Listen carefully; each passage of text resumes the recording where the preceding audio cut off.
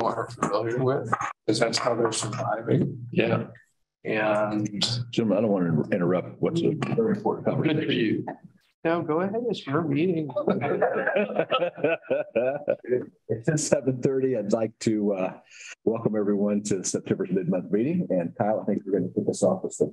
Well, Sure. Uh, so, uh, good, good morning, welcome, um, uh, to the uh, September fourteenth Planning Commission mid-month meeting. I am Kyle Kobe. I will be helping facilitate this in video portion of the meeting.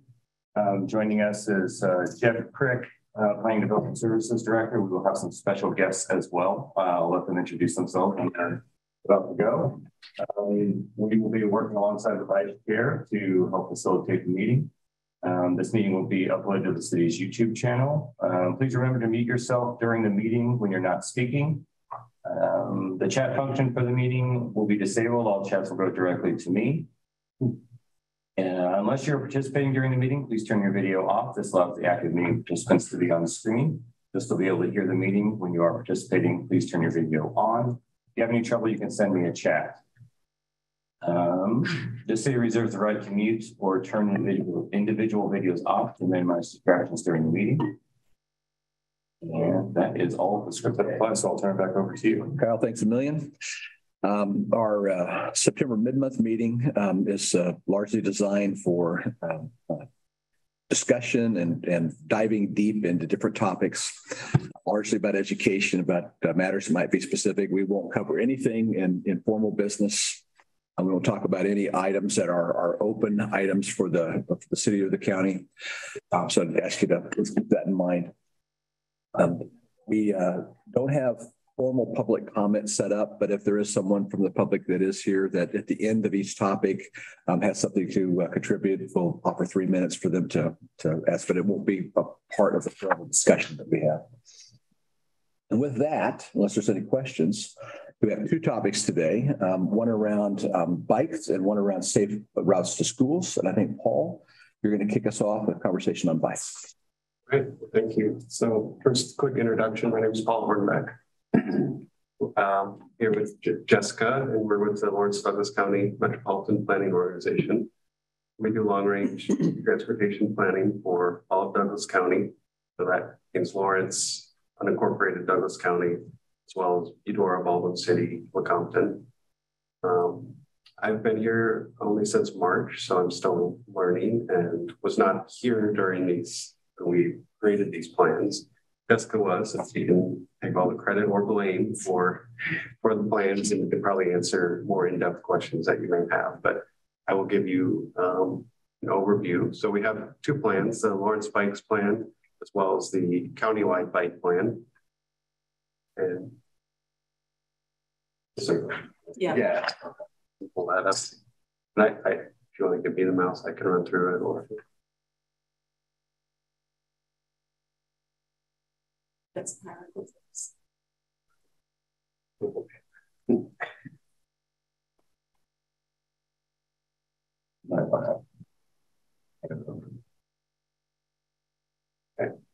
Yeah, so we have the two plans. Um, Lawrence Bikes was adopted in 2019. The countywide bike plan was adopted in, in 2021. And the reason for updating the plans, we're on kind of a five-year rotation with all our plans. So the bike plans, uh, pedestrian plan, safe routes to school, the other plans. Yeah, whole lots. Okay. So we try and update to those every five years. Um, some of the, the key components of the bike plan, or bike plans is creating a low stress network that works for all ages and abilities. Um, and this update was also focused on, on implementing that as well as bringing in some of the national design standards to help, help create that, um, network that's a low stress, um, high comfort for all ages and abilities. Um, so community engagement is a big part of our process. Uh, we have a public engagement plan that we follow for all of our processes. And so developing these plans, we, we follow the, the process that's outlined in our public engagement plan. Um, so these plans have a steering committee that helps guide the process and help help us um, vet our ideas and give us some direction. Um, we have a robust engagement process with each community. So Lawrence, Douglas County, this, the small cities. Um, there's a, a public comment period, a 30 day public comment period. Once the plan is developed and we have it posted and available for review. So engagement consisted of open houses, guided bicycle rides, mobile meetings, as well as a survey. Uh, the survey had over 600 responses. Um, and I mentioned we have the two separate plans. they started as, as one kind of combined bike plan for Lawrence and the, and the county. Uh, they were split during the process to uh, get better engagement with the with the small cities. Uh, we found that doing the safe routes to school with the bike plan um, gets gets the kids engaged and, and parents engaged. So that was uh, a big part of the, the county-wide plan. Paul, Charlie Thomas. So I am new to this. So you're saying you're meeting with the cities, Baldwin, Eudora, Lecompton. What about just the unincorporated areas? Where, where, yes. where does the input come there? How do you meet with with so people? the steering committee for the for the countywide bikeway plans was the MPO Bicycle Advisory Committee, and it has representation of two, I believe, two appointed positions that are appointed by Douglas County, and so the that they serve as the liaisons for what would we would consider Douglas County, whether they incorporated or not, would be their prerogative in that.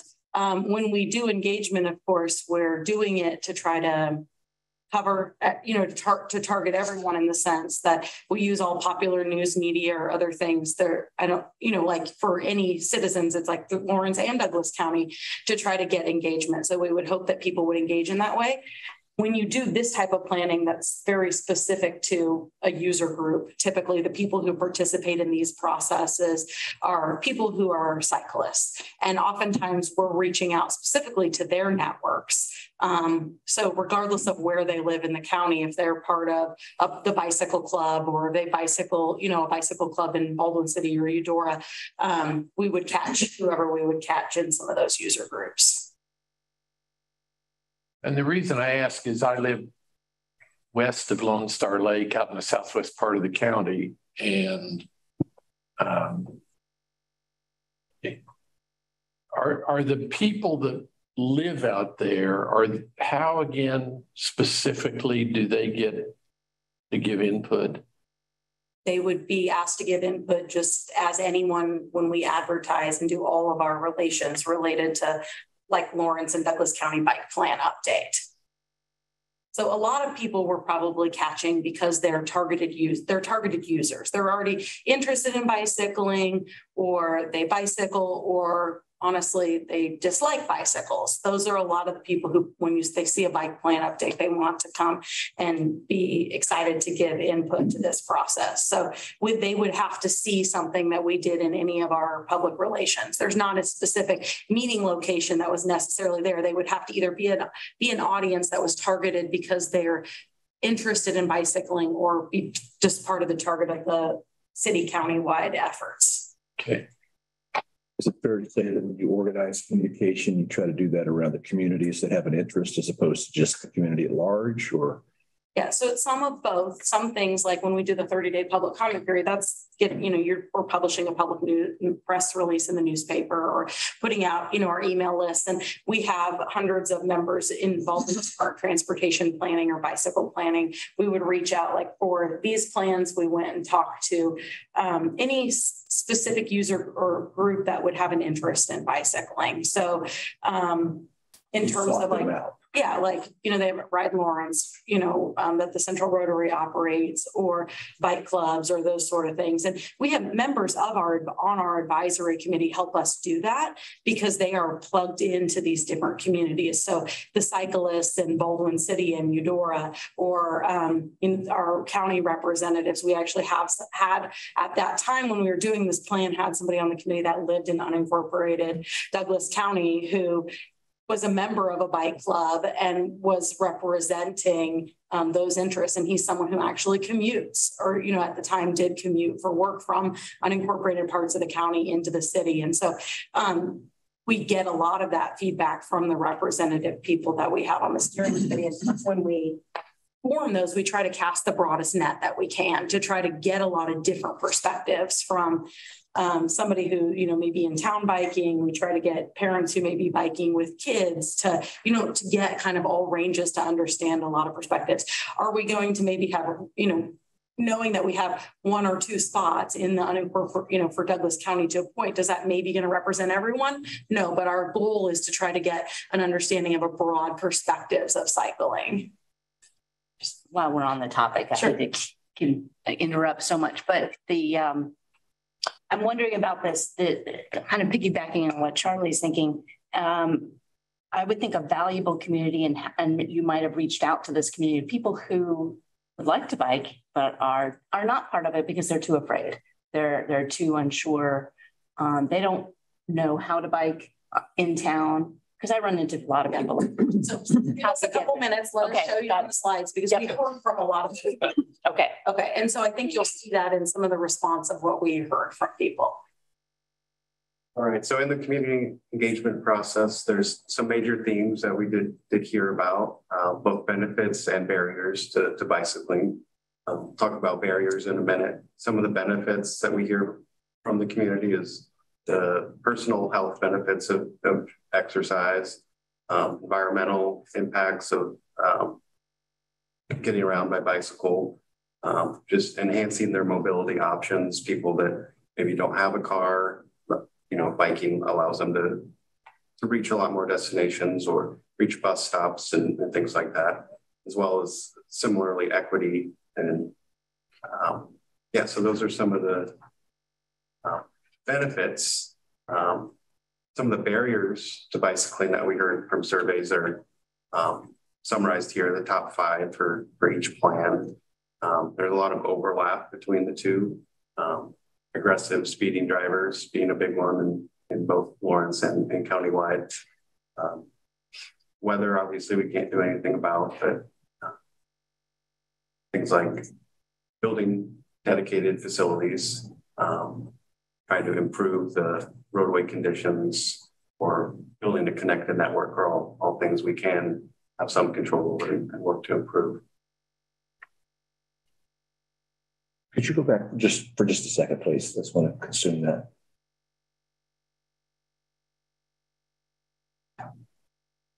Thank you. And, and to back up for a second, so this this is oh, so for the um, Lawrence Lawrence survey, we had about 573 responses to that Lawrence specific and um, about 45 for the, the countywide. Is that good? I think it's pretty reasonable for the level of effort that we are able to put in with two full-time staff and two interns. Okay. Without a lot of additional staff interest, inter, like ability to table, because a lot of this engagement we're getting because we are tabling at existing places people are. So we're going to community events, we're going to the library and just open Gotcha. tabling and literally talking to every person that we can get to. I mean, we get probably a majority of all of our surveys through every survey process come to us in paper and we input, we're inputting data. So based on our capacity, we feel like this is Gotcha. pretty reasonable. I think it's also fair to say is the amount of work Jessica and Paul do with two people and two interns is better than some places do with five people and 10 interns. So it's a very high productive effort they do with two people. Yeah, and we were really blessed in this process because members of the committee came out and tabled with us. They went on, you know, they helped go on rides with us um, of our steering committee because they're also very passionate about this work um, and helped us frame some of the work we're doing and listen to concerns because they're also advocating in other ways related to some of the planning work that we have done, like things like the Lawrence and Douglas County rideability map. So they they also, I think, have a value in listening and hearing what other people are saying outside of their own single bicycling perspective. And so many of those members helped us um, table and do events, which expands our capacity. So this survey question asked people if, if they would ride their bicycle more often if they um, felt they could do it safely. So this is kind of to your point about uh, those people who maybe don't feel safe or comfortable. Um, in both Lawrence and County, 71% of respondents said they strongly agreed or somewhat agreed that um, they would ride more if they could do it safely. Um, so level of comfort really relates to this and whether it's real or perceived safety. Um, and we'll get into kind of design standards and how to how to create a higher level of comfort and higher safety for people as we go on. So our, our next question, um, comfort bicycling on different forms of bicycle facilities. And so on the left, we have the different type of facility, uh, protected bike lane or cycle track being kind of the safest and most, most, um, most comfortable and most uh, separated from traffic and vehicles. Um, not surprisingly, that's uh, the most comfortable for people. 73% of people say they're very comfortable on that type, type of facility. Um, and then going down the list, uh, buffered bike lane is, is just a bike lane um, with a little bit of a separation, um, but no physical barrier from traffic. Um, there's a small section of that on, on Mass Streets just uh, by South Park. So 44% of people, and then just going down the list to conventional bike lane or a shared lane marking or, or no facility, obviously the comfort gets less and less. And, and this was a visual preference survey. So we gave people Oh. pictures of mm-hmm. facility and asked them, how comfortable would you feel mm-hmm. on this? We did it both for commercial streets and local streets because that matters too. So we had two separate lists to kind of start to understand as people are responding, how would they feel if that they were in this kind of space? Because I think not everybody knows what those mean. Mm-hmm. Yeah. So that was um, Lawrence, and then next slide is the countywide and um, pretty similar results. I would not have called the one on Massachusetts Street. I didn't think that was called a buffered one. There's sections thought of it it was that has, a conventional. it has a buffer. And that's considered a buffer, that Just, space. just space. Painted space Painted is space. considered a buffer. To get to protect, protect, that's when you have a buffer, but it has a physical something in it. So like an armadillo, one of those rubber armadillos that's bolted to the ground or uh, like a flex post, like you That's what they were called. yeah. Uh, so next question is just asking about what, what should be prioritized um, and asking if we should equally prioritize the needs of people with bicycle, other travel modes. And 75% of the respondents in Lawrence agreed that um, bicycling should be equally prioritized with other travel modes. County was a little bit less, um, 64%. And These are the same people though that were providing feedback on biking in general. So probably that community as opposed to community at large. Yes. All right. And we, we understand that like in this thing, but we're trying to, I think, start to show the conversation about as we're talking about bicycling in relationship to other things, where should they lie? And right now, bike ped as part of like the overall transportation budget is like 2%. So there's still a lot of room for improvement before we even get to equal, I think, to show that there's increasing value of importance on for people, for safe facilities for people bicycle. So the next slide has vision and goals for the Lawrence Bikes Plan, um, improving safety, um, and regarding fatalities and serious injuries, the goals have zero through 2025. And as of 2021 data, that continued to be zero, so that's good. So increasing ridership. Um, so this this one's kind of hard to measure. The census does ask a, a question on primary um, commute method. And as of uh, 2021, it was 1.3% of, of people using bicycle. Um, the goal is to get it um, 3% by 2025. And bike to school, um, the goal is 5% by 2025. And as of 2021, it was 3.7. Um, this does vary a lot from school to school. They do um, kind of surveys at each school or counts at each school to, to gauge that. Um, Sunflower um, has an 8.6% and on the high end, and Schwegler is around a half a percent. Um, and there's also, Jessica will talk about people walking to school, but that's also a big big part of that as well. And we wanted to kind of give you those examples, I think, because in your mind, you can think about where those schools may be located. And there are a lot of different barriers for some schools in terms of roadways, right? Um, Clinton Parkway, Iowa, in terms of uh, Schwegler versus a school that may be more neighborhood focused. So They could either consolidate the catchment area, like in Sunflower, you've Mhm. got Clinton Parkway, which kind of creates the neighborhood. Right. Whereas Schwegler, you've got 23rd Street, which kind of divides it. Um, other other goals are to increase access. So the percentage of population within a quarter mile of what we call level comfort three or better. Um, we'll, we'll show kind of what the level of comfort in some of those facilities are. Uh, and then the low stress network, uh, as well as increasing uh, the mileage of the of the low stress bikeways to 46%. That means the grade, how hard it is to ride it. No, that that's actually the level of stress that we we measure by the volume of traffic and speed of traffic. Oh, okay. So high stress is going to be on a, a busy, fast road. Gotcha, gotcha. Okay, cool. I really did not understand what that meant. the countywide plan also has uh, vision and goals. Um, so these talk about um, fatalities and serious injuries again. Um, also talks about signage. Uh, Douglas County specific is improving separation and distance um, from roadside safety during um, whenever there's a project. 100% of the time, making those improvements when it's identified as a future bikeway. Um, Baldwin City has a, a goal of increasing their mileage and Eudora similarly. So we also have action plans that kind of are, are steps for implementing these projects. So I know you can't read those. Yeah. Paul, go- go- tell me about the signage. Um, so I rode, before I moved here, I rode my bike to work for years and years in a very populated area.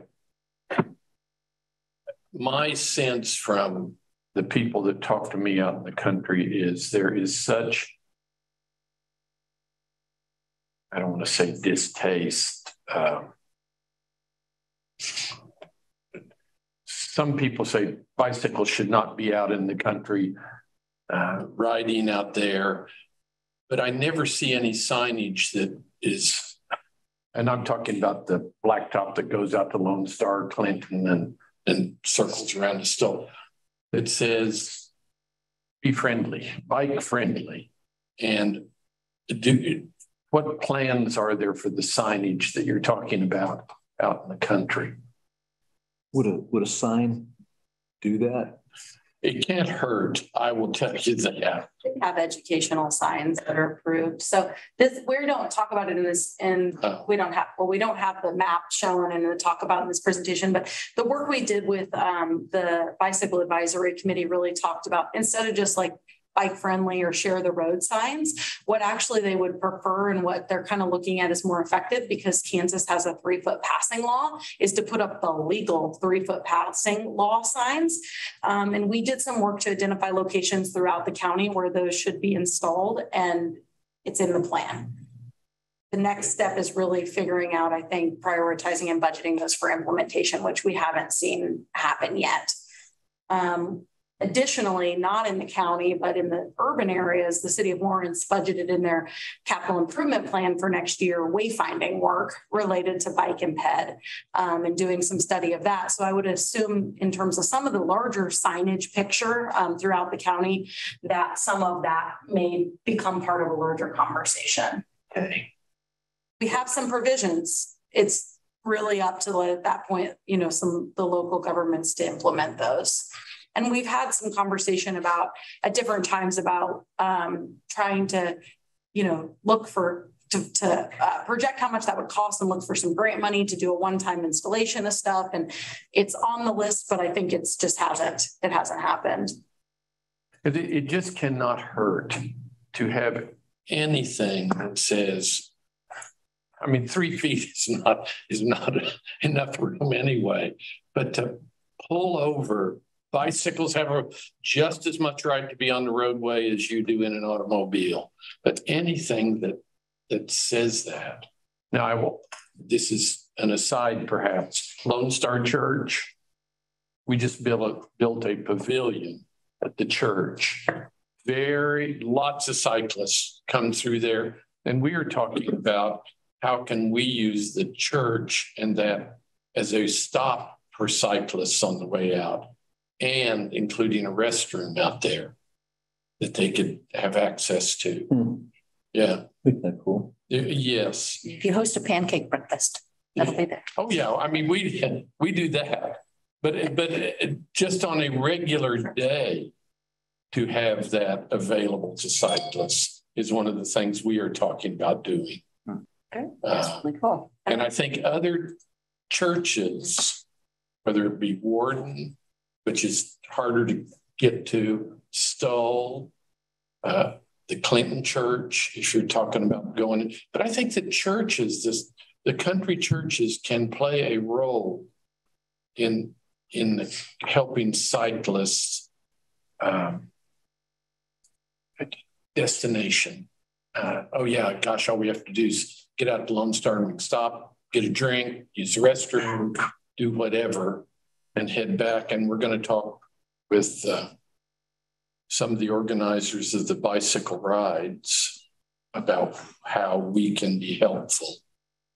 Um, that's I don't know where all that Yeah, fits in. I think it does fit in. And I think mm-hmm. that, I think, you know, that's one example, but I think there's probably a lot of private business, private entity responsibility for supporting cycling culture in our community. And whether that's from an employee perspective in terms of offering showers or having, you know, secure interior bike parking for long things. We, you know, we do other work besides just some of these big uh, city or county bike plans, and one of which is, you know, downtown parking assessment for bikes and other things. And we hear about a lot of those things from individual employees and employers.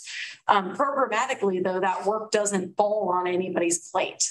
This is where it becomes really challenging. So, as the MPO, we do planning work and we can get involved in some of the implementation. But when it gets to operation of some of these programs, it really falls beyond the scope of our role as regional planners.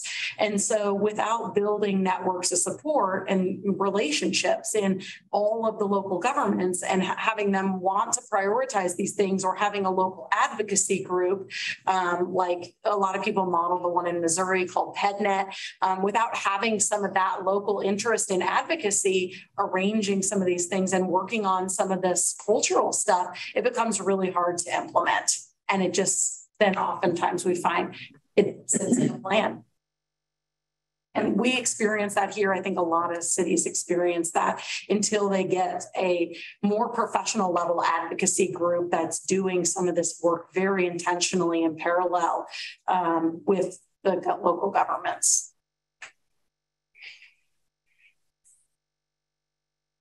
So some of the major steps for implementing the plans is uh, incorporating bikeways into roadway projects whenever there's a um, a road that needs to be to redone or expanded, whatever, incorporating bikeways with that. Um, also standalone bike projects, uh, grants and private funding. You know, Jessica mentioned, I think around 2% of the transportation budget goes towards bike and ped normally. So grants can, can really help um, advance projects. Um, leveraging private development to also make necessary improvements. Um, safe routes to schools, and Jessica will talk more about that.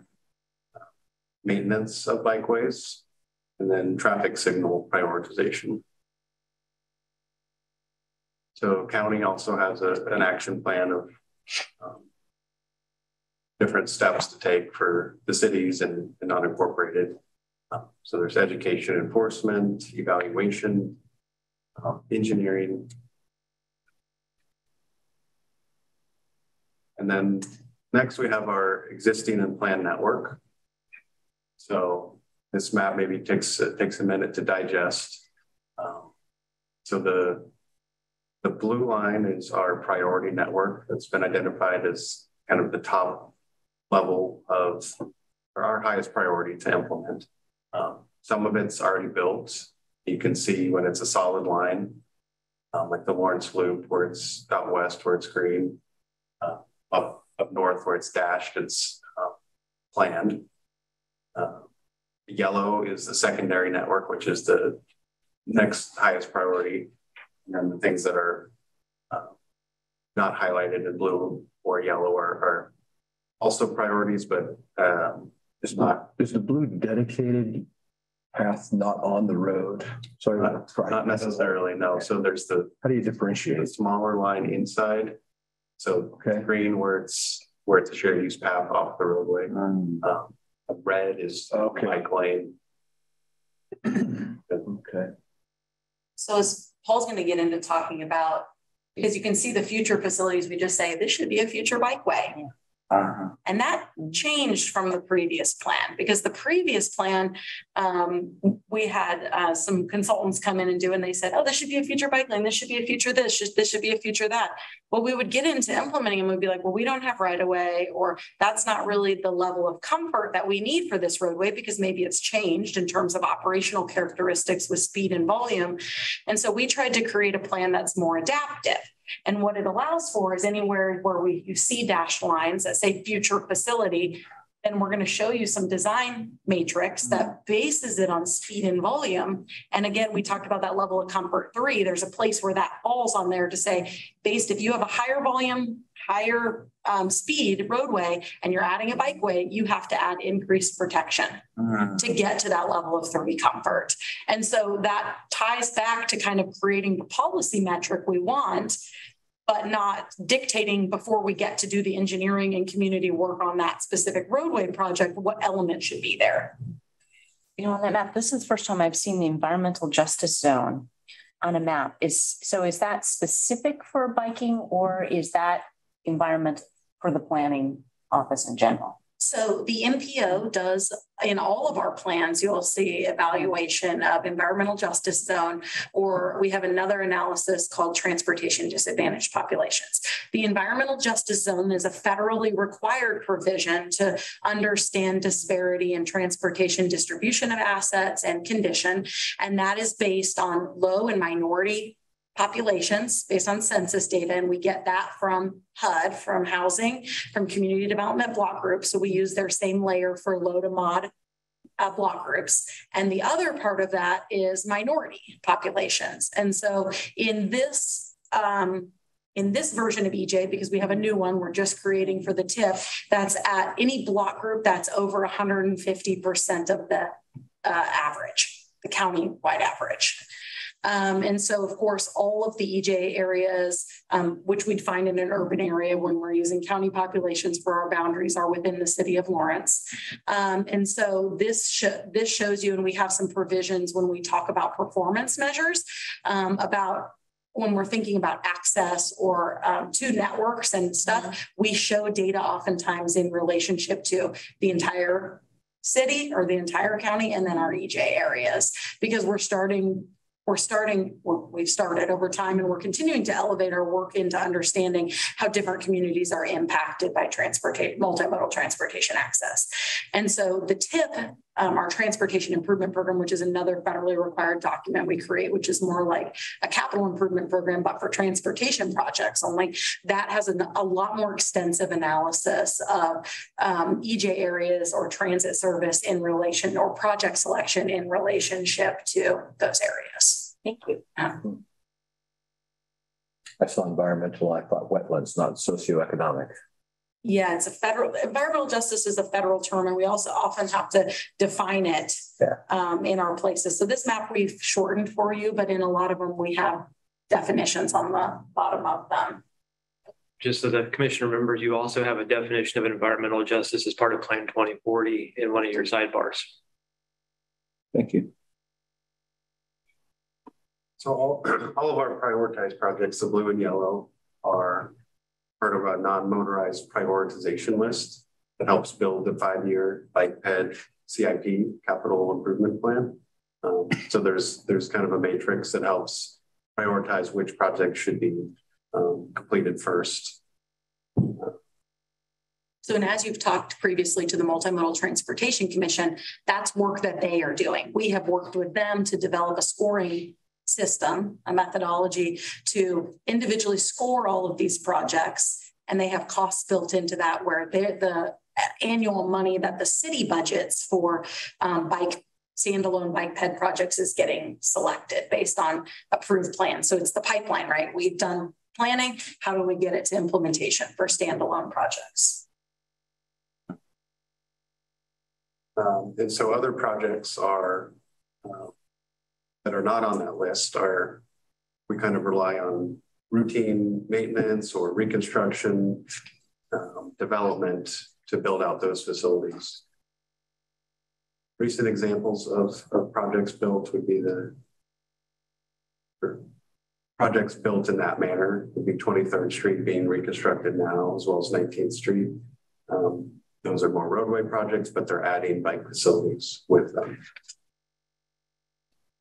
So we also have a, a similar map for the, the county area as well. And so Charlie, this may interest you in the county. You can see the areas that have the blue lines, some of those routes out to Lone Star, and you can see there's more and more, I think, as we go along that have moved from future bikeway to paved shoulder. So as we think about county routes, that spectrum of comfort, those facility types for that is really talking about a, a paved shoulder to give people space, which has safety improvements for all users. From the south end of the dam over to, I call it the Lone Star Corner. That was a great improvement for cyclists right there. And I will tell you, a friend of mine hit and killed the cyclist at the Lone Star Corner. And it is devastating to the to the driver. Uh, so that was a great project to have that. And I think we'll continue to see more of those. We know, for example, the 56 project that KDOT's getting ready to do is going to include paved shoulders. I think because of also design standards for rural roads, that's also increasing the pressure for paved shoulders for roadway safety, for departure safety, even for vehicles.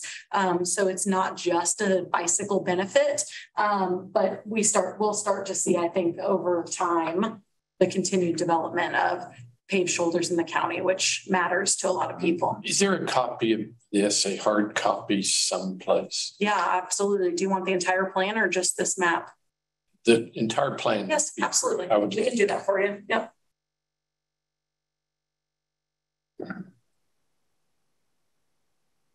So the next slide talks about um, of the cross-country routes. As uh, these are, sorry, my slides are out of order in my notes here. Um, so these are designated largely by, by KDOT or other national groups that are routes that go through Kansas or across the entire country. These are not necessarily um, prioritized locally um, for implementation at the moment, um, but they are they're they're more tourism um, and recreation focused than than transportation focused. The key about these, I think, is these are the routes people are using if they're doing cross country trips. And so, um, regardless of the fact of where they fall in our existing or plan, Um, this is something new we added to the plan when we did this plan because we hadn't done it. bef- We hadn't done that in previous plans, but to really recognize and call attention to, we're part of a bigger network and system. And in some places, we, we had conversations between um, the Bicycle Advisory Committee and KDOT to, uh, to re-navigate some of these to existing facilities. So in cases where like the Lawrence Loop had been developed through the urban areas, um, move the route to that. So we're directing people to infrastructure that is the best available to connect them based on existing conditions. I think there's conversation too about, you know, there could be conversation or local advocacy. I know there's some interest in connecting um, like Baldwin City to Lawrence and some of those things with uh, Baldwin City's work on trail development, Maple Leaf Trail and trail development, especially their work to the south right now. Um, but I think you could see this is kind of the start of that conversation. Um, and it will need to continue into the future because there isn't really any active implementation of these outside of each of the local governments, just efforts on their own networks. Okay, so now the next slide uh, talks about um, the different design um, options, kind of the um, different types of facilities. So we, we've talked about these, but now we have the images to help better illustrate what those are, as well as the um, facility selection criteria. So I don't know how, how well you can see that, but it, it talks about the, um, the volume and speed and volume is the, the blue line kind of graph and the speed is in the, the yellow orange.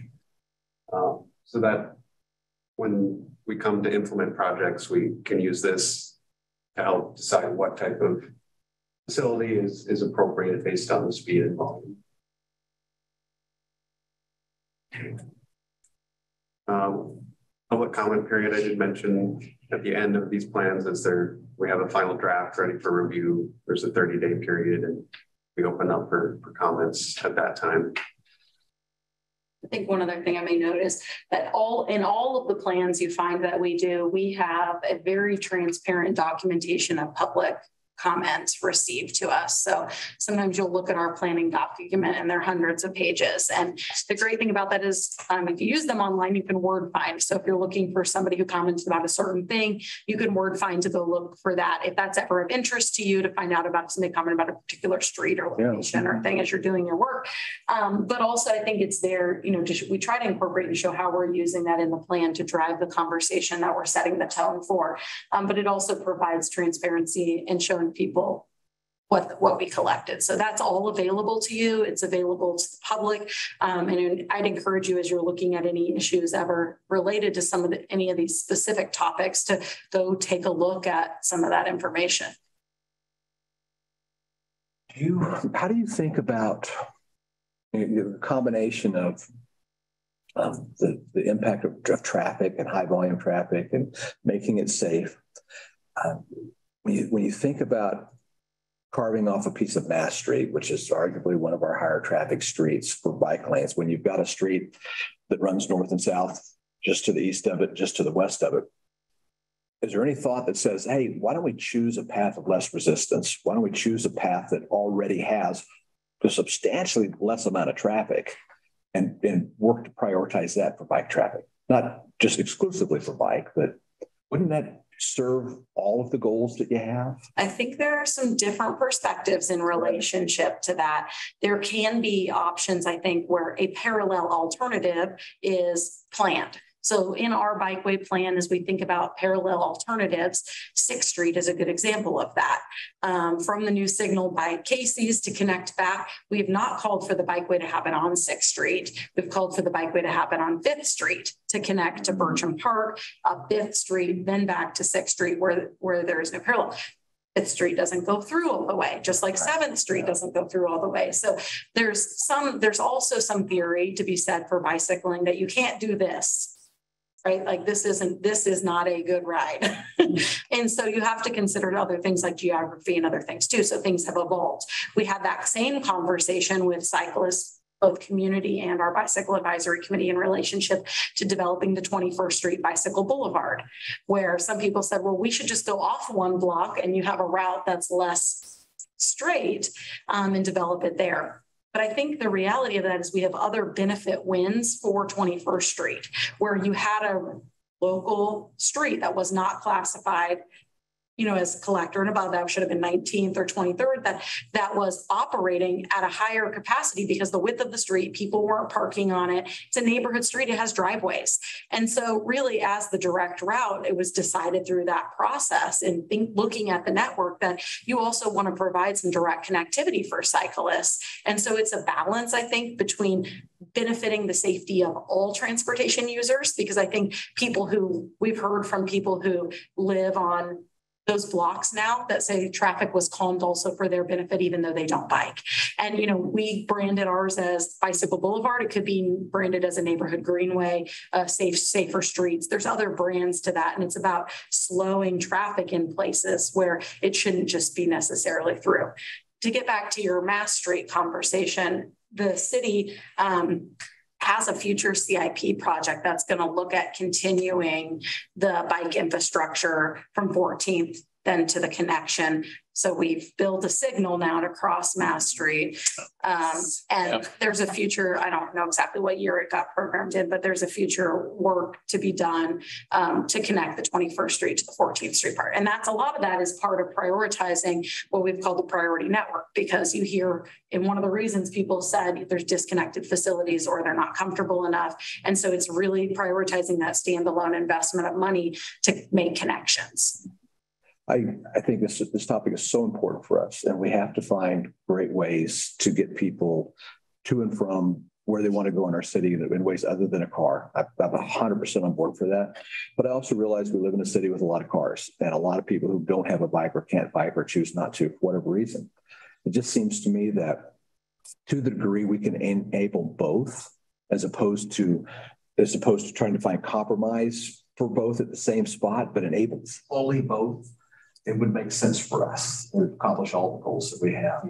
I think it's going to be a continued conversation we have to have because another uh, street, as we talk about, that was on the traffic calming list for a decade um, is 13th Street. We have that slated for as a future bikeway. So thinking about that connection from Mass to Haskell to Loop. Um, it's a residential street, has driveways facing it. It's very wide. The local street cars are clocked traveling 70 miles an hour on that street. Put a cop there. Seriously. Um, and so this is, this is the, I think this is kind of to your point of, of which cases we have streets already where people operate with unsafe behaviors. Yeah. And when we can develop physical infrastructure that impacts how they operate by narrowing lanes and making dedicated spaces, we benefit everyone, not just bicyclists. So it's not necessarily a compromise, it's to the public benefit of everyone. If it's the same if we think about doing um, doing chicanes or if we do um, you know different traffic calming, that that on a street benefits a lot of this argument that traffic calming is important, but it's a separate conversation from building out a capability for bike traffic in our community. But right if I might speak to someone who personally bikes up in Massachusetts Street, that is one, if you go over one street east, New Hampshire doesn't go all the way through. I can't get to. And it's a rough City Hall. road to begin with. All I'm, Um, all I'm saying is you put that same energy and concentrate that on intentional paths and improve that so that it can be. I'm not saying that New So, Hampshire. but New Hampshire doesn't go through. Yeah. Right, the central thing. gets in the way. or- There's no, there's no way to go through, all the way through town on New Hampshire.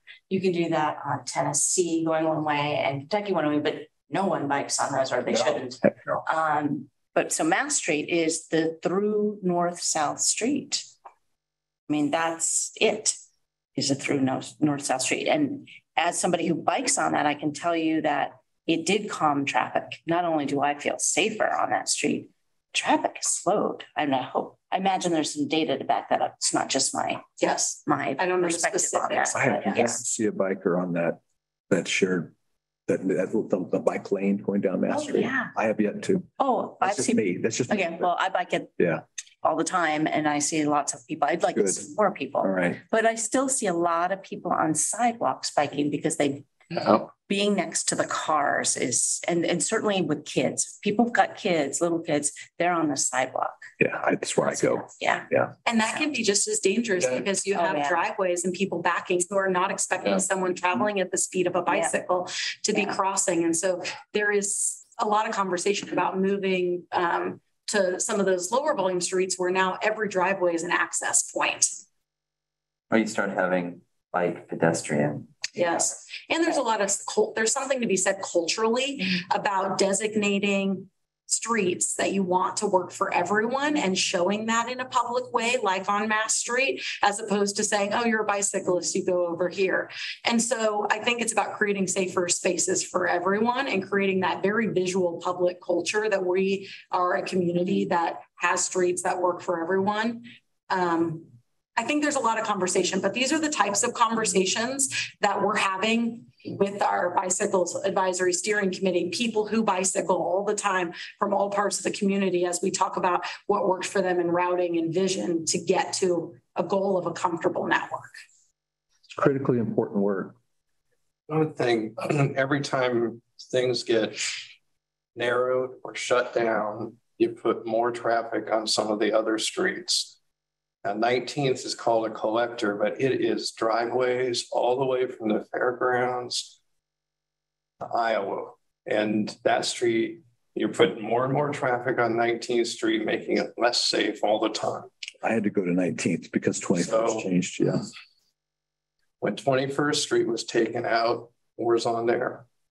And now with the mess on 23rd Street and everything else, 19th Street is dangerous. Actually, nineteenth street is shut down. Down, yeah. And there's it's still a shut lot, yeah. down for, and it's still, I'm, well, I'm just talking down where I, it's getting worse and worse all the time. And if It's you're a gonna shut down 13th Street too, Yeah. it's I- at the cost of everyone on 19th Street. I think there's some other things happening too with relationship to KU and transit changes that are impacting some of that. Um, transit had this, KU Transit had to significantly cut service to a lot of their routes, so they don't have the frequency they used to. A lot more people are driving. Their numbers for ridership are a third of what they were pre-COVID.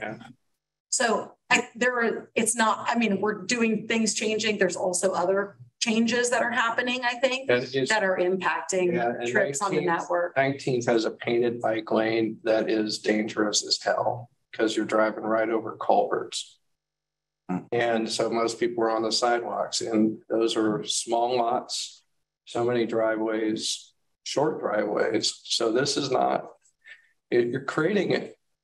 The situation is just getting worse and worse on that one street. And it just seems to constantly be ignored. And now with it being open through the business park by the fairgrounds.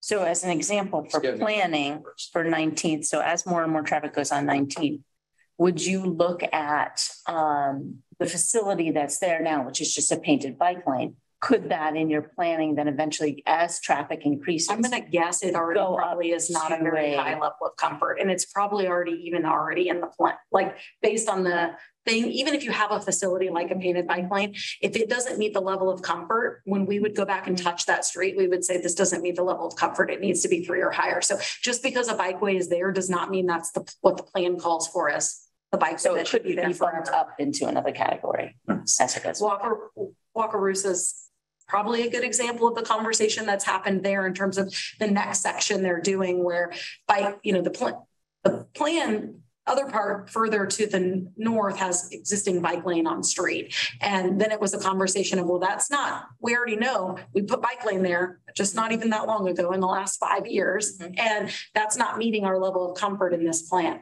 So to meet the level of comfort, we either need a cycle track or a shared use path. And so what you saw in the future proposed design is shared use path and the transition to that facility type. And so I think those conversations are happening. They're happening with the Multimodal Transportation Commission. They are using the tools that we have available in the plan to try to help drive some of those decisions about design that's getting implemented. The other side of that is budget. Hmm.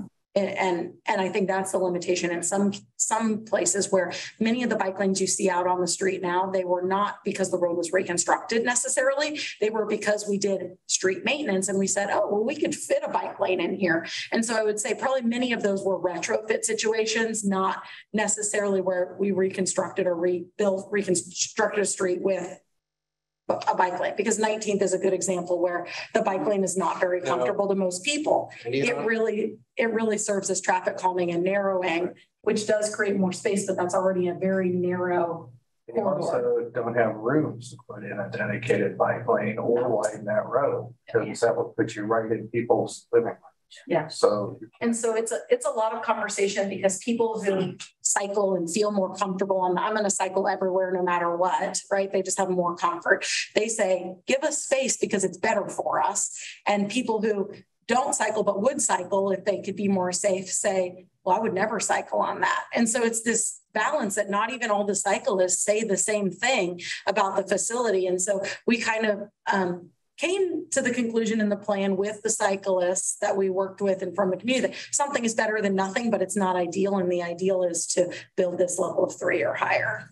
Because you, you still build a culture by having some of those facilities. And if we can get some of the higher level connections, then maybe you just have to feed in a small part of that to something that's a higher level of comfort. Just a quick check, two things. One, I want the time check. Uh, We've got uh, one more topic. We're about thirty minutes away from a hard stop. I just want to, before we, we can talk uh, whatever way you guys want to. I want to check with the folks that are online. They're joining us uh, from Zoom. Um, Prasad and Steve, uh, do you uh, have any questions or comments? Make it kind of hard for you to jump in. Yeah, I'm good, Gary. Thank you. Thank you. Yeah, nothing here, just taking it all in. I appreciate the time this morning. All right, thanks. I know we had traffic counters out on the, again, the Lone Star Blacktop headed out that way. Do we have uh, bike counters that we know how many people traverse the unincorporated county roads? I do not on- To my knowledge, there are not bike ped counts besides some manual ones that we've done in a few spots. Um, there is the technology available. I don't know that the county has ever used it. We have it in the urban areas because as part of neighborhood traffic management, um, the city engineers have purchased some bike ped counters. Um, we're still testing out what that looks programmatically. We haven't gone back and done manual bike ped counts. That's where we put somebody for two hours and there's supposed to be a methodology. The problem is that doesn't work for county trips because we're, those ratios are built on when people are there in urban areas, right? It's a national program that's really targeted to urban areas. And so if I go put somebody out, you know, over lunch on a, it, it doesn't work Yeah, um, for the two hour period. So we really would need tube counters. Uh, it's something we could talk to the county about. I don't know that they've ever done them. They may before projects. Sometimes if they have a consultant or, you know, they're doing an engineering study before a project, they may, it's not something that feeds into a database I have. okay. Although I, I think those counting things are, are interesting because it's a chicken or egg issue. Whereas you, if you're looking at a roadway and people don't feel safe biking on it, there's going to be very few bicycles passing that too. Um, so, but if they built it to be safe, there'd be a lot of people on it. So depending on which way you're looking at it, you don't want to have that tube counter determine, well, there's nobody on this road. So Yeah, now, So- true, And- true. And it is an example of that when we built the lighted pathway between South Park and campus. Um, we did before and after counts of that, and there was like a three to four fold increase of usage, bike and ped together of that corridor, the when, once they lit it. So it gives you an idea, like people, and we, you know, we counted at nighttime hours, we looked when, you know, the lights were on. It Was, we were, you know, kind of creepy sitting in our car counting people. We left- Be there before we did that, but um, I think those are some examples of things where you build the case where it's like, yeah, nobody was out walking bike. Now we've made this lighted facility and oh my goodness, people, everybody came to use it.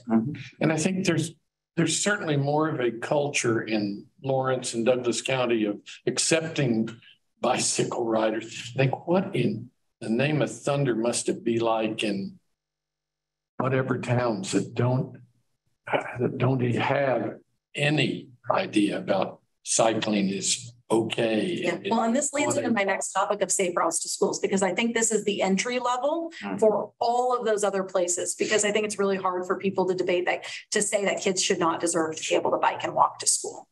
And land use decisions and school siting around schools in a lot of places have made that not possible. Um, just because of how that far they've located off on a rural, you know, where land was available or cheap. And um, we are fortunate, I think, and you'll see in some of the stuff we talk about to have neighborhood schools. And I think that's a really big part of a conversation um, that's still going to play out here in relationship to how we do this work. So if you're ready, unless you want, you have no public comment. Please jump in. Okay, so we have done safe routes to school planning in Lawrence, Eudora, and Baldwin City. I'm going to talk primarily about Lawrence today, although I can answer questions about any of them. Um, the plan in Lawrence is obviously the most robust because there's the most quantity of schools. Um, Safe Routes to School is a national framework, so they have a methodology really that's about all the things that Safe Routes to School should engage. Um, when we did this planning process, um, we had done Safe Routes to School planning work before, but we didn't write a plan. So we had some maps, um, and we had some, oh yeah, there's some different programs happening, um, but there was no written plan. And so the next process when we engage this is a partnership of City of Lawrence, uh, Public Works, uh, Public Health, USD 497. We invited different private schools to participate, although many of them, because of their disbursement and not having boundaries, don't necessarily have a lot of kids walking and biking. So we got very little participation in that regard. But um, and just thinking about a coalition about how, you know, what how, what's law enforcement's role, what's our mission for communication about a lot of different things. So we're thinking, trying to think holistically about walking and biking to school in relationship to all of these elements. The thing people think about the most is obviously engineering. Is there sidewalk or bike infrastructure but for kids mostly sidewalks or crossings um, in relationship to school do we have traffic controls or crossing guards? Those are the things that people want to talk about which is mostly city programming. But i think there there are other parts of this program and and again when i talked about advocacy and the role of other organizations so thinking about walking school buses and you know how the community driven nature of those or volunteer crossing guards as opposed to a paid crossing guard program or student crossing guards there's a lot of programmatic stuff that could be different based on what some of the other partners would want to participate in based on best practices. We're not there in the, all of those regards, but we have made significant progress in some things. And so we'll talk about those things. Um, we started this process in the winter of 2019. Um, and doing some research. We, we will talk about our data gathering in the parent survey. Um, we worked with public health a lot to get that into schools. Um, we put together kind of our existing conditions and then we went back to evaluating routes and we have some, we worked with the school district and we'll show you some cool mapping that we did to look at student densities uh, in those boundary areas to make some priority routes. If we're investing our limited resources in gap infill and crossings, let's do it where we can funnel the most kids into routes um, that go to schools. And so we did that for each of the schools. Um, and then we went back out and did some open house and engagement, and we'll talk about that. And then we put it on pause and waited because schools were closed um, before we came back and did some uh, public, final public comment and approval. Um, so like I mentioned, we began a long time ago, um, and that first effort really was led in 2014 by public health, um, and no plan was written we have um, since then implemented a lot of some of the other programming stuff. So bike and walk to school days at, at, many of the schools that choose to participate. A big win, I think, is the Lawrence Bicycle Education and Safety Training, which has been incorporated into the curriculum and uh, public uh, Public Health wrote grants and got bike fleets for the school district. They're working on them also. And Ball, Eudora, I think, has one, and they're working on some for Baldwin City, but that's on bike bike education and PE. Hmm. Um, that's really valuable. It's an equity concern. Lots of kids may not have access to bikes at home. Um, and so this is teaching um, how to how to ride, how to do so safely, and um, it, it's really exciting for the kids to get to get on bikes. Um, and then also we have made some, some, some, progress in adding miles of sidewalk gap and crossings. Um, when we talk about what's happening in terms of the data, um, we- That place for just a second. Yes. Back up just one. Yeah. 4.7 miles of sidewalk gap. So, so how does the, how does the, how do you think about the policy of sidewalks on both sides of the street? Is that, does that factor into Well, you think about safe routes to schools. It does. So we did, I, I don't have it all in here. It's in the plan. We asked people about what they thought in terms of sidewalks on one side, on two sides versus if it's an arterial street, a collector street, or a local street. And for the most part, people desired them on both sides regardless.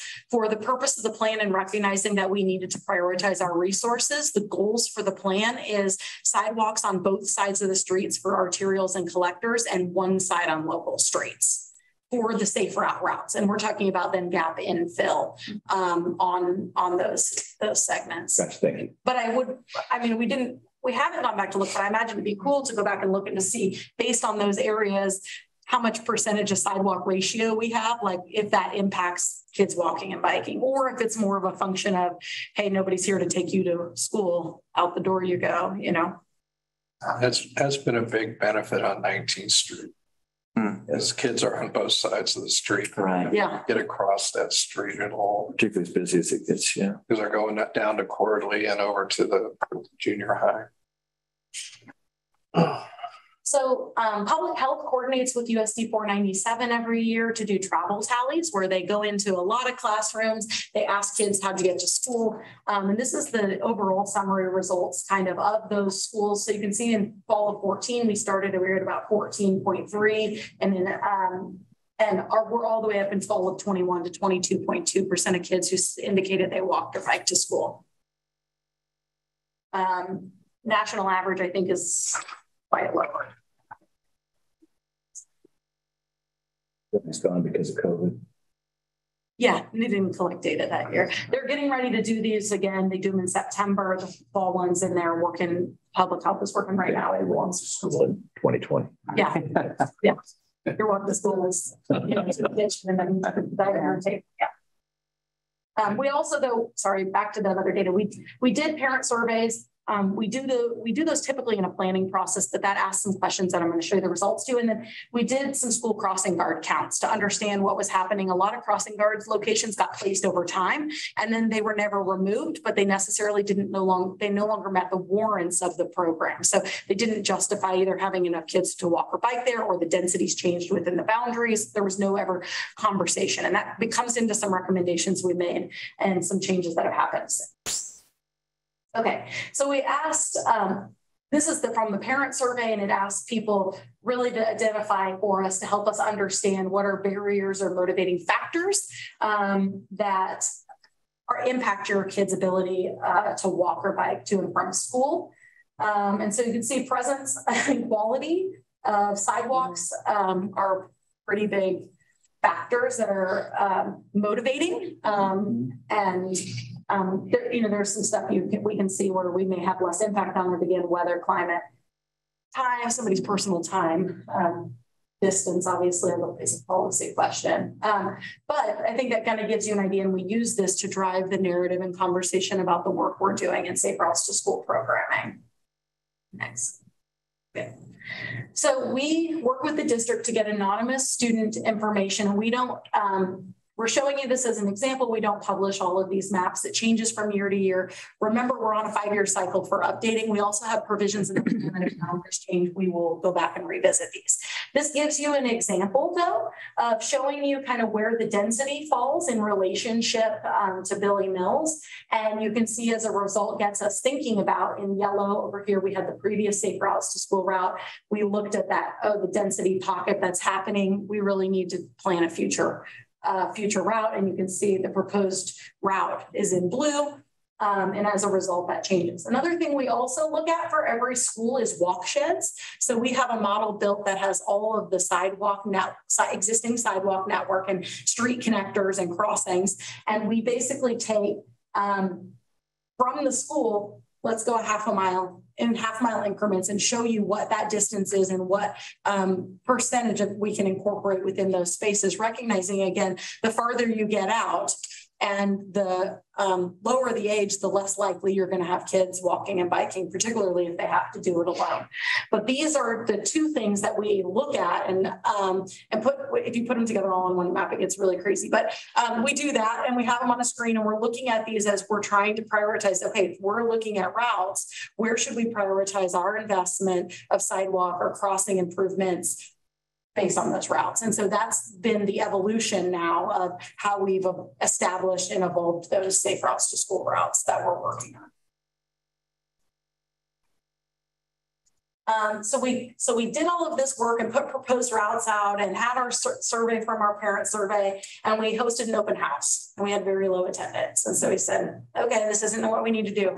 So instead we went back and contacted the schools and went to visit either the PTO or the PTA at every school, or at least we asked to, um, and based on what they told us would be best for their school, we went and did all those visits. We provided them packets of engagement that gave that laid out all of the stuff we were kind of looking for guidance on. Um, and so in some cases, they had some different options for choices um, and ways to connect things. And we wanted to get that information directly from that school to help us make that decision. And so we did that. Um, in relationship to all of these tools and packets. We also had them all online that people could find, um, but most of the engagement came out of our work going to specific school sites and helping having those PTOs or PTAs specifically recruit engagement from their school for us. That's very time intensive. Were you the, if you were the queen of the world, how many people do you need in your department? Because I mean, I, I, it just seems evident that maybe seems evident to me, maybe that you are not a priority in this county. If there are only two of you and two interns, and you are charged with doing I mean, the, the things that you were doing. Um, so part of that staffing level function is a result of the federal funding we get. And you'll be pleased to know that we are getting more money. And so there may be some things in store for us in the future. I was thinking about but that's a federal, federal. a hologram of you at the schools in Paul. I mean, I yeah. It's I mean, we evident. have a lot of capacity. I mean, we have built capacity. We our interns are not making coffee. Yeah. And they have really good job placement because of it. For the record, I make the coffee. That's because you just delegate everything. And part of it's about bringing the right people together to start having these conversations and to make decisions and be willing to kind of say, okay, here's what it is. Let's move on and keep doing this work. It helps that it's on a cycle. We're not, you know, we're on a five-year cycle, so we're not starting over. We're saying, here's our process. What didn't work last time? How do we recreate this? What else can we do? Um, yeah, we do the best we can do.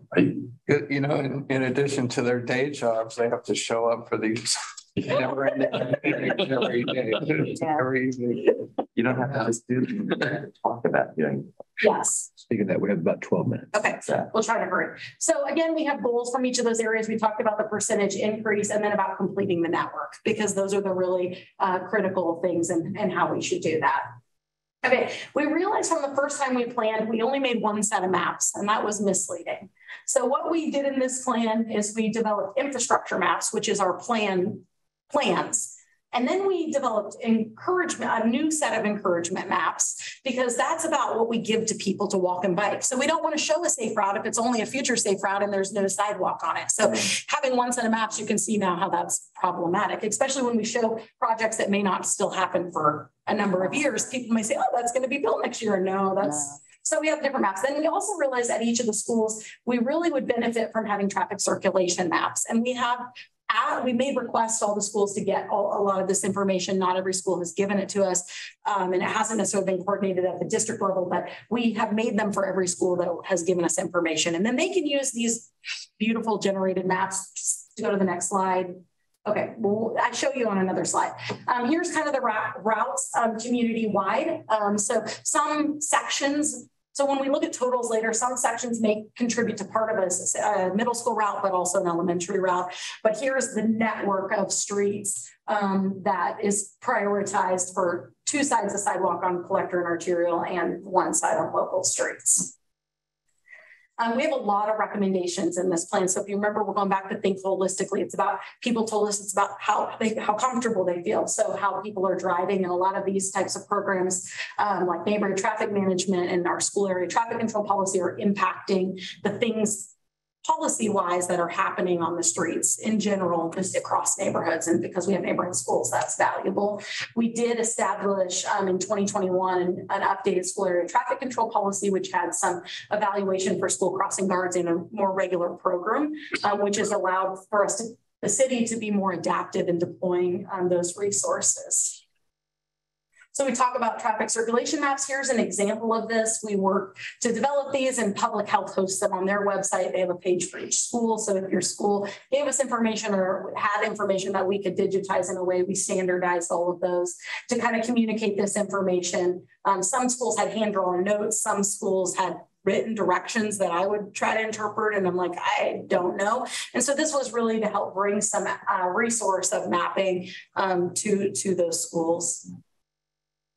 Um, we recognize crossings both in safe routes and in the pedestrian plane as one of the most challenging points of um, contention for comfort. Um, and so we have some recommendations about some safe routes to school crossing improvements and, and implementing them into non-motorized prioritization and develop a crossing policy. And Multimodal Transportation Commission is working on that right now. They just had a study session about uh, crossings and policy design. There's a consultant working on, on a, a, small project for that. So there's some work happening on these things, which is really exciting.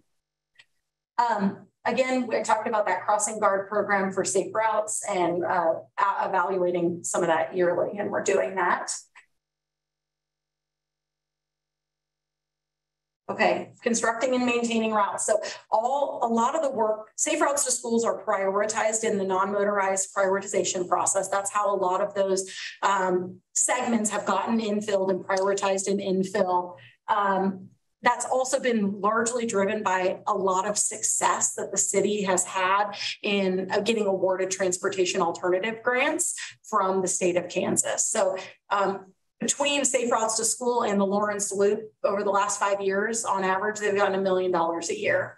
And that's that's huge um, in terms of bike ped investment. And so a lot of work is being done on stand. Those are all standalone bike ped projects. And so um, that's really exciting. And I think there's continued conversation about even maintenance and ADA and sidewalk improvement that is just going to benefit kids walking and biking to school, assuming we have neighborhood schools. Okay, we went to work with, uh, we developed an MOU between the city and uh, USD 497 about how we're all going to work together. Um, and we have a, a, kind of an informal working group because of that, um, that meets as needed to do, to coordinate and do all this work because there's a lot of individual partners doing each of these pieces. Um, again, this is kind of the culture of walking and biking. These are some of our best practices and recommendations. Some of these things are happening, some of them, some of them aren't. Um, you can just kind of keep going through this. Here's the encouragement maps. Um, that public, we work on the map side based on existing conditions of where sidewalks are and what the routes are and where crossing guards are, uh, information for and show up what a half mile walk is to your school. And then public health put together in partnership um, this information to kind of give um, that information really awesome out to parents. And those, this is a very time consuming summer process. These are hosted on the, um, we've had staff changes that have kind of impacted our timeline for some of these, but these all should be hosted on the public health website and then schools have access to them. That's brilliant. That's, um, so yeah, so again, we work to um, track progress. You know, we're looking at the inventories of networks. We also have, I didn't talk about it at all, but there's some bikeway projects related to safe routes. So thinking about how that impacts, because there's some things like bike boulevards are probably slower streets that would also impact how kids walk or bike to school. Um, and then the process to amend. We recommend there's also some other best practices um, that we have less control over two of which are, you know, really having school champions at schools to, to work on some of the cultural things or think about how, you know, walking school buses can really impact walking and biking rates to school, which um, there's not a process for that really. And so it would have to be community advocate driven, school specific, that sort of thing. And then overall, just considerations about walking and biking before new schools are sited or boundary changes are made we recognize that is a huge part of why we are able to have done and had success doing the work we've done is because they're our neighborhood schools. So when um, the school district talks about boundary changes, um, I mean, do they meet with you? Do they talk with you? Did they Amy Miller and our division represents planning and development services on school boundary change committee. But um, Ron May from USD four ninety-seven, who's the operations, I mean, he has, he serves on our steering committee. So he has access to all of the tools we developed as part of these processes as information resource to him. To the extent they use that, I, Yeah, that's, I'm wondering what, how deep these conversations are when I- school boundaries are being, I have never been asked to participate, so I don't. okay. You said earlier about some kids don't have bicycles. I see on TV every once in a while, some hero takes all the used bicycles, refurbishes them and hands them out. Do we have anything like that in the Lawrence area? We do. There's a local community nonprofit called Lawrence Unchained, and they're a bicycle cooperative, and they do repair bikes and do bike giveaways targeted particularly with Housing Authority, last I knew. Um, they also have an Earn a Bike program and um, sell used bicycles that they repair to help do this for their nonprofit. I believe there's also some larger programs, maybe related to Lions Club, but I'm not sure how those, I'm not, I'm not necessarily privy to that information. And how do people find out about any of these, whether it's Lions Club or the other? Well, I see a lot of posts often on Facebook type groups in community stuff, like people saying, oh, this kid needs a bike or, and people responding like by whatever things. Other than that, I don't know. Okay. It's kind of, Back to the school question, did, did I read in the paper that, I'm trying to think, there, there's a consultant maybe looking at school populations in terms of um, enrollment issues in the school district. And I'm wondering if that's a way to, I mean, in in whatever that discussion is about which built, what to do with the old buildings, what to do with existing buildings. I forget, I don't know exactly what that conversation is. Might that be a worthy conversation to have to bring it, in? it could be, I mean, if they're doing some of that forecasting work, it just depends if they do it spatially. I mean, they have all the student information. So it's very possible that they could ask their consultant to work with us in terms of the model that we built for sidewalks to be able to do some of that scenario modeling. Um, Changing school district boundaries just eats people up in, in an instant. Uh, Talk about changing the school boundaries. So as a result of that, you can see where all the routes are in gray. The gaps or projects are identified here in sidewalk projects. You can see we don't have too, too, too many left, but you can see there's probably some critical segments in some places. Some things we anticipate, um, you know, the 19th Street, the this section of Wakarusa with SL, you know, with SLT project. There's some things that will happen as part of development, other parts that um, will need to be standalone projects. So the gray, that those are future projects Now, to the gray on this one is the routes. The- Oh, the route, okay. the route. So like that's the, what was in yellow on the previous slide. Now it's just in gray because we want to show you how the connections are made. Okay, But now the, um, the blue is if it's on a gap on one side of a local street.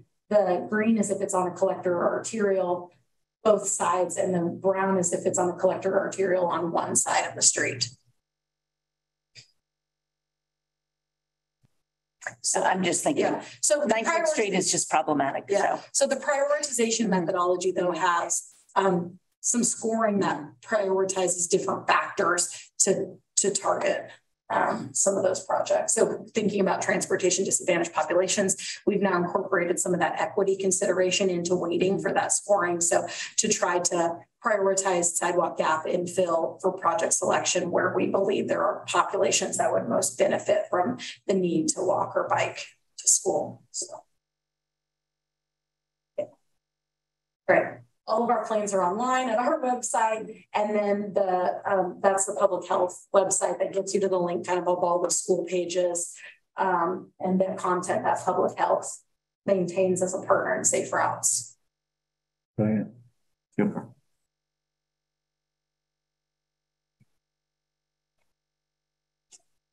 Good job. So job. much. Thank you. Good job. Yeah. Yeah. Yeah, this is the work that we do. So this is Part. of part of the. Thank you. Really impressive. Yes, thank you for your time. Usually at these meetings, what, what are we looking at for planning commission meetings this month? Two nights, one night?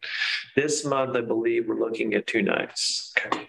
I don't have the bit of paper that's got that in front of me, but I remember I think tonight is two nights and I thought that September was going to be heavy. yeah, I think it's stacked on both nights.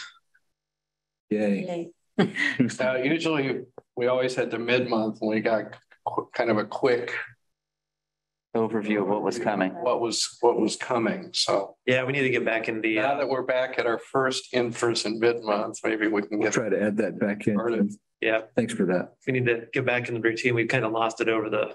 Two and a half years. Yeah. Yeah, I think we got about two, two full nights if my memory serves correctly. Yay. Great. Thank you guys so much. Really. Thank you, thank you. Um, We we have have, other plans for the future, so if you have other stuff you would like to hear from us about, we are happy to come talk about any of the work that we have done. The other thing that most, may be most relevant to you is the pedestrian plan. If you want to hear more about. yeah. Always happy to talk about sidewalks. And David present that once. Go off on rants or whatever. I try not to rant. So a meeting that starts here at nine. We need to clear the room before then. So I just want to ask before we you jump, is there anyone online that has any comments? Make before we go? With That, uh, without objection, we'll call this as close. Thanks, everyone. Thank you Thank you. so, so much.